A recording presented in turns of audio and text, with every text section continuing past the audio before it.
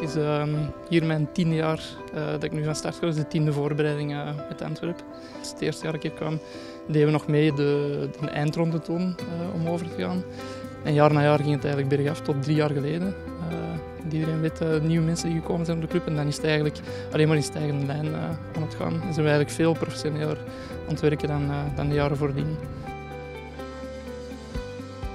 Vorige week was er een trouwfeest van een oud speler dat je, dat je gevraagd wordt en dat je, dat je erbij kunt zijn. Dat is altijd wel, wel leuk natuurlijk. Dat je met de mannen nog contact hebt uh, van vroeger.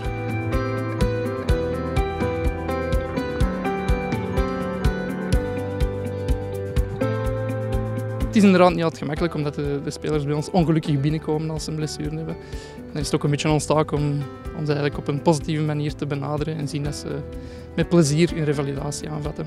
Uh, dat zorgt enerzijds voor, voor wel elke dag opnieuw wat spanning, omdat elke dag super belangrijk is dat die mannen, er is heel veel aandacht rond, dus die mannen moeten eigenlijk gewoon top begeleid worden. Dus het zorgt wel voor een, een bepaalde druk, maar ook wel, het geeft ook wel voldoening als je ziet dat de resultaten, uh, dat de resultaten meevallen. Ja, zo blijft doorgaan en we kunnen in deze omstandigheden werken, dan wil ik er sowieso nog een paar jaar bij doen.